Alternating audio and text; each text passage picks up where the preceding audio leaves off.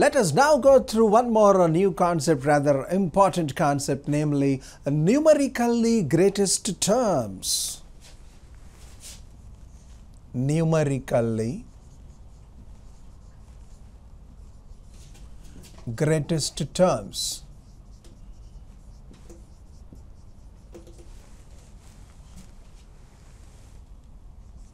Numerically greatest terms. What do you mean by numerically greatest term? Let us have a look over the expansion.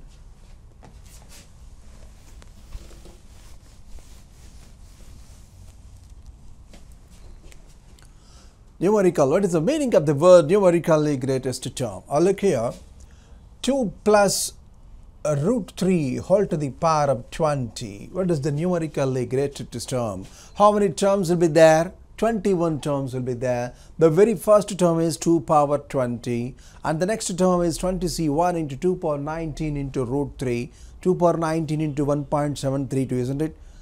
Like that the terms will be increasing and decreasing like that they will be happening. Out of all those 21 terms what is the largest numerically that we have to go that we have to get in this process. There has been a very good process by comparing the r plus 1th term and rth term. And a, a very good procedure has been designed.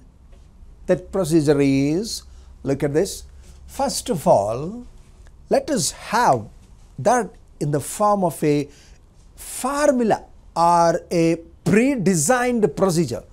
And to understand that let us have the most general expansion. What is that general expansion to find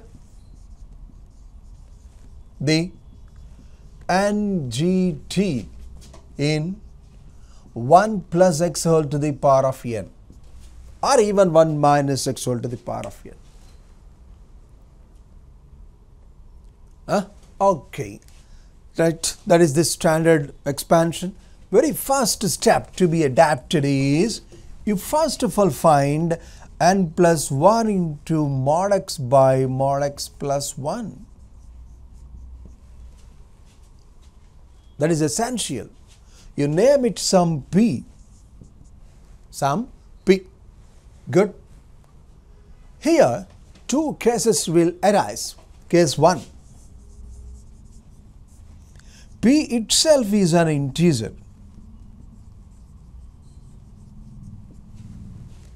In this case, there will be two numerically greatest terms, namely Tp and Tp plus 1 are the two numerically greatest terms. Of course, they will be equivalent if you can find them.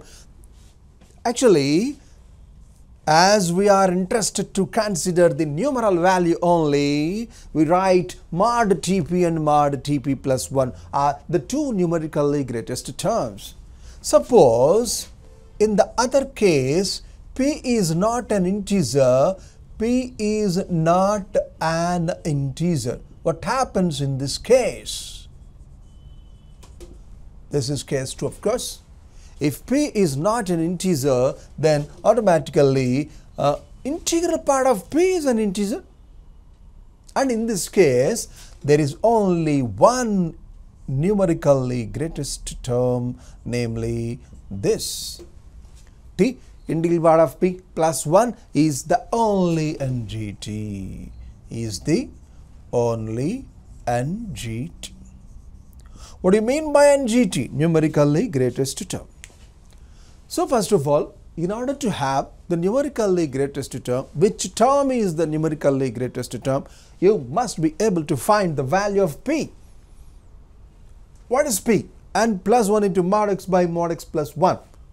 Of course, the proof of this particular number is also very simple, but to save some time only, we are just noting it.